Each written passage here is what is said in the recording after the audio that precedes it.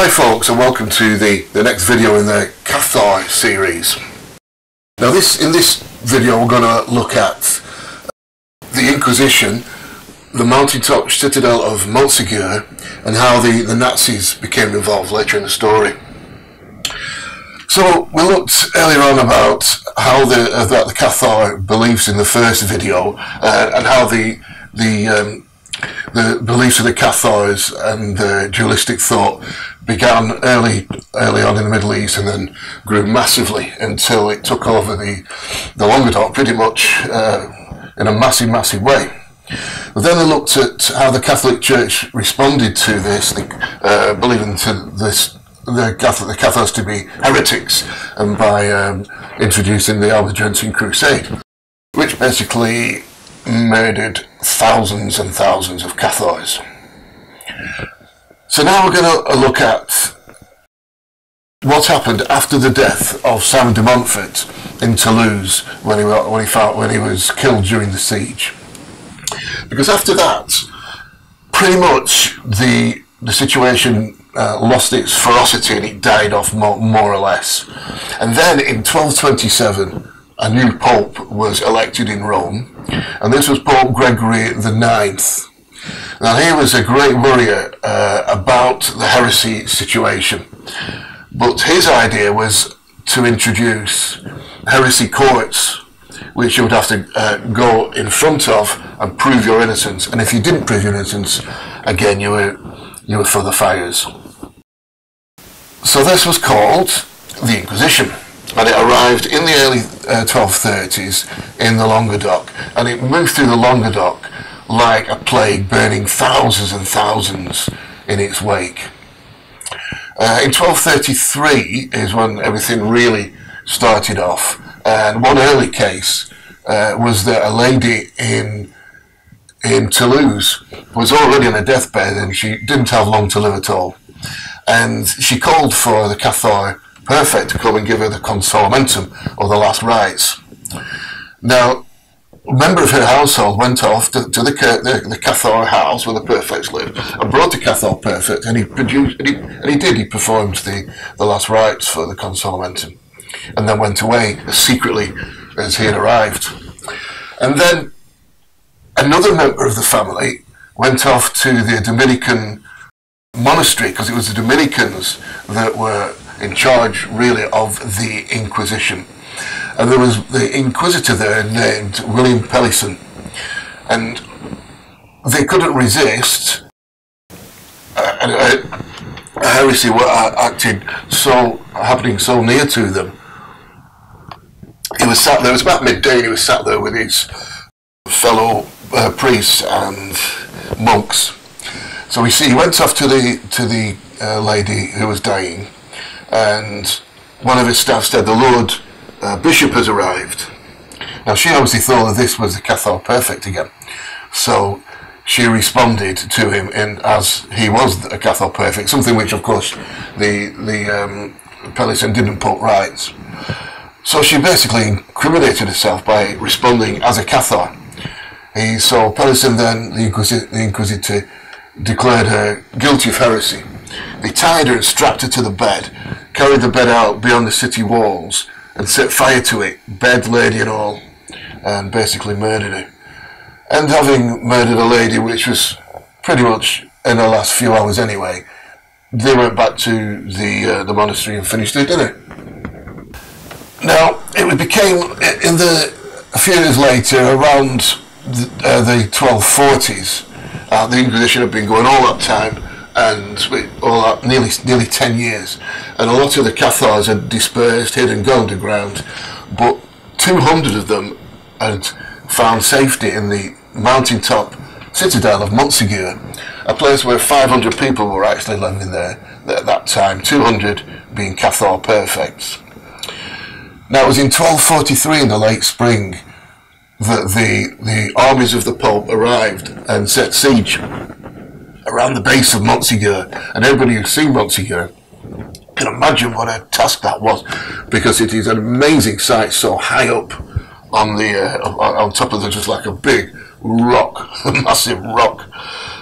Now the so the Cathar Perfects were happy there. And they thought they'd be safe because it was pretty impregnable. And they also thought that Raymond of Toulouse was going to arrive with reinforcements because he thought he was at in, in Rome negotiating with the Pope.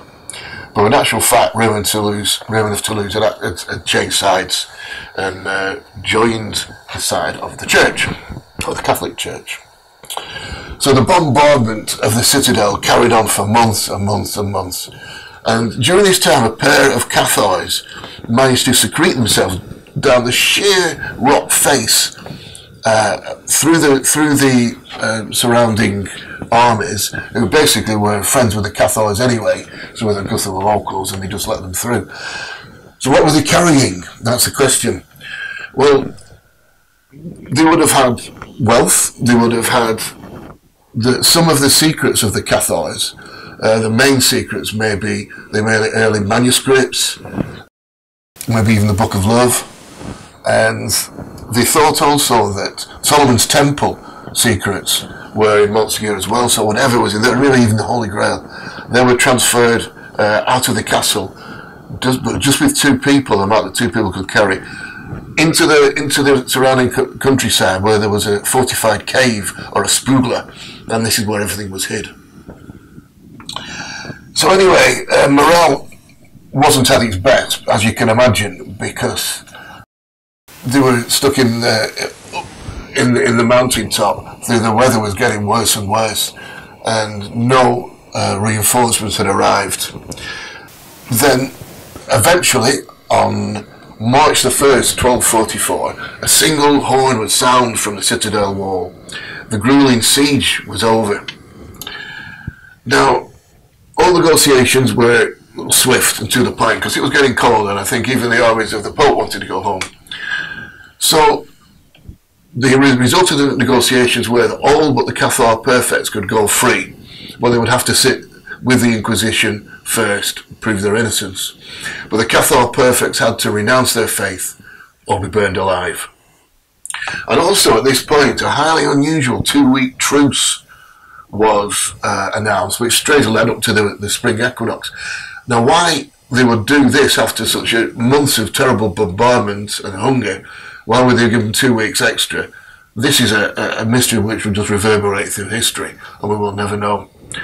But what we do know is that four more Cathar perfects managed to find their way down the back of that sheer mountainside, in with more of the of the uh, mystical secrets and wealth um, treasures of Solomon's temple of the, and of the Cathars to this same cave and hide it away, bury, this, bury it with stones so it'll never be found again.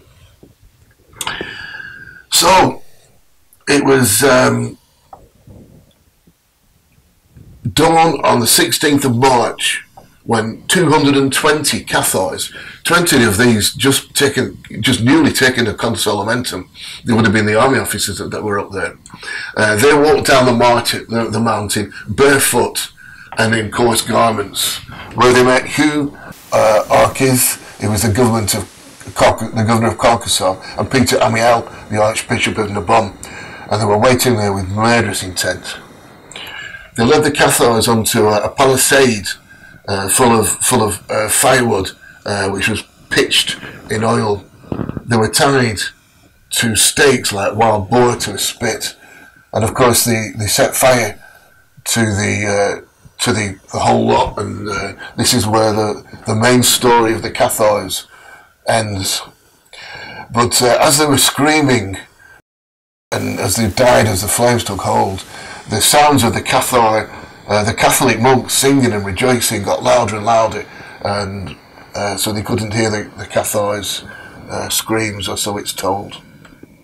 So this was a wonderful day for the Roman Church, uh, and the Catholic Guillaume, the, uh, who recorded the proceedings, wrote to the Pope saying, refusing the con conversion to which they were exhorted, they were burned alive in an explosion made of sticks and stakes which was set fire and dispatched them to the fires of Tartarus. I take visitors up there now, and, you, and uh, some days you can really feel the atmosphere, how something so tragic could have taken place in such a beautiful, wonderful landscape. Very, very spiritual experience. But that isn't the end of our story.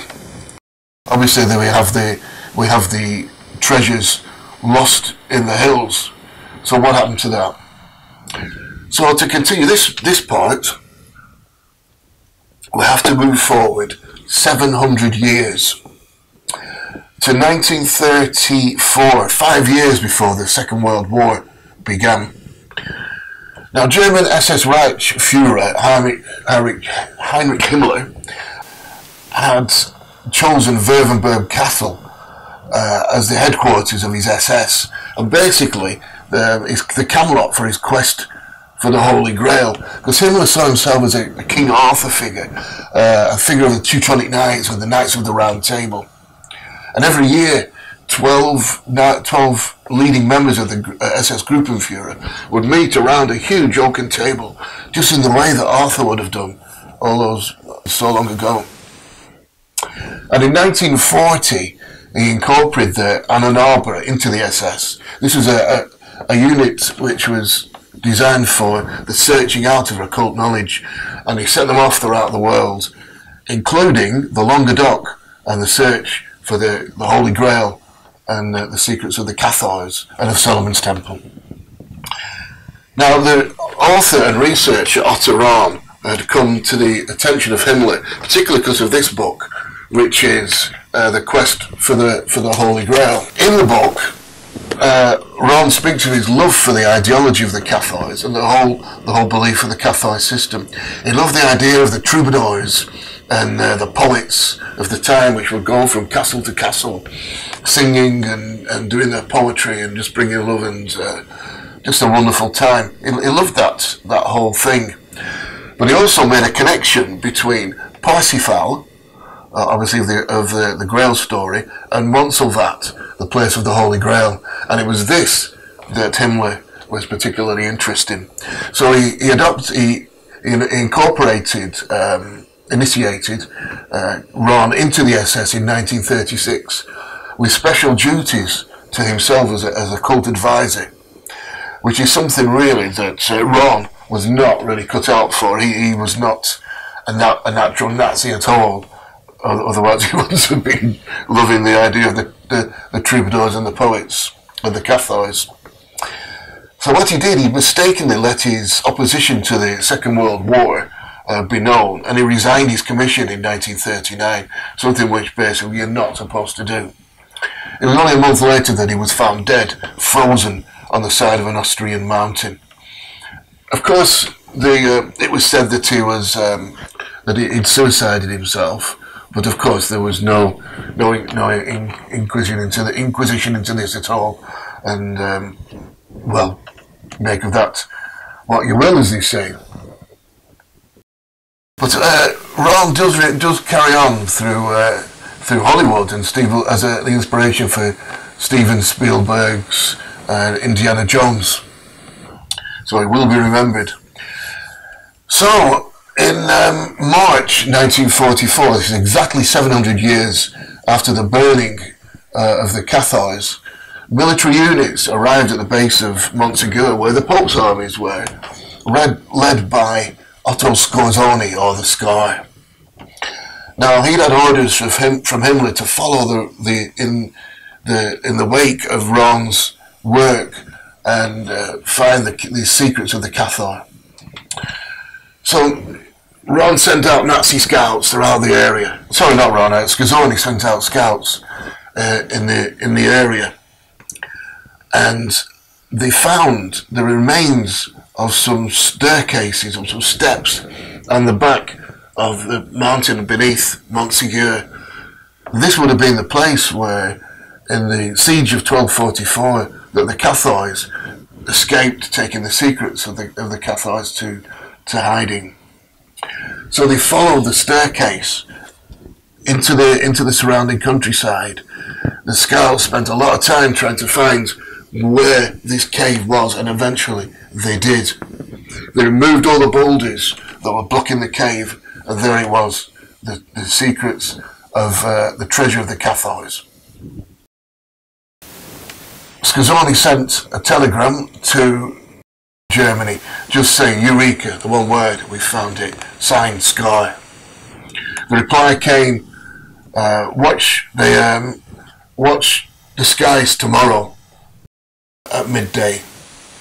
So this was um, exact March the 16th, 1244, exactly 700 years since 220 Cathars had walked to their death down the mountain top, down from the mountain top uh, citadel.